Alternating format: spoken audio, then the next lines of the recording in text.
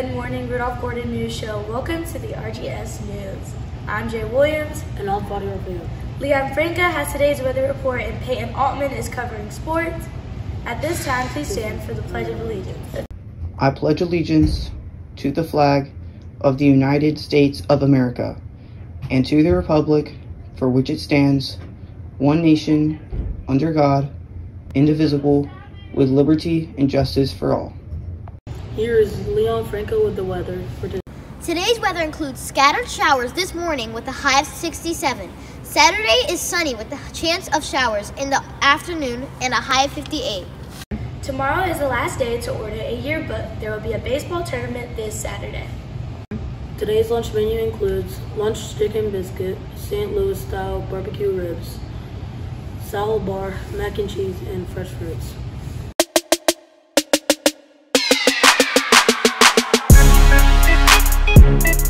You're a real American Ninja Warrior. Where do you train for that? I actually train here in Greenville, South Carolina at a real ninja gym called Mother School of Movement.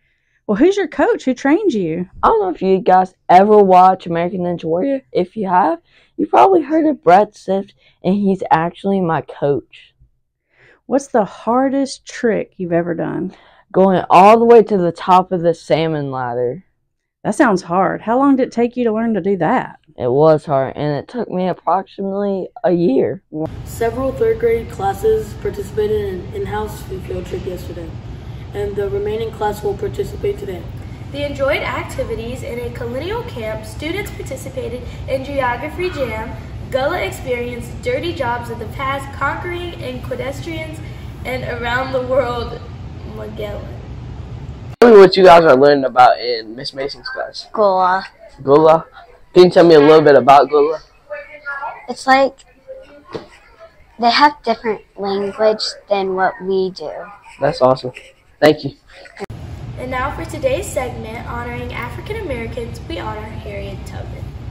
Harriet Tubman was an American abolitionist and social activist. After escaping slavery, Tubman made 13 missions to rescue approximately 70 slaves.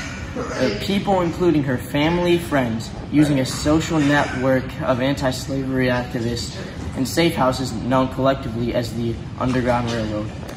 Eighth grade students on the Washington, D.C. field trip visited the White House, the U.S. Capitol, the National Museum of African American History, and went on a guided tour of major monuments and memorials in the area.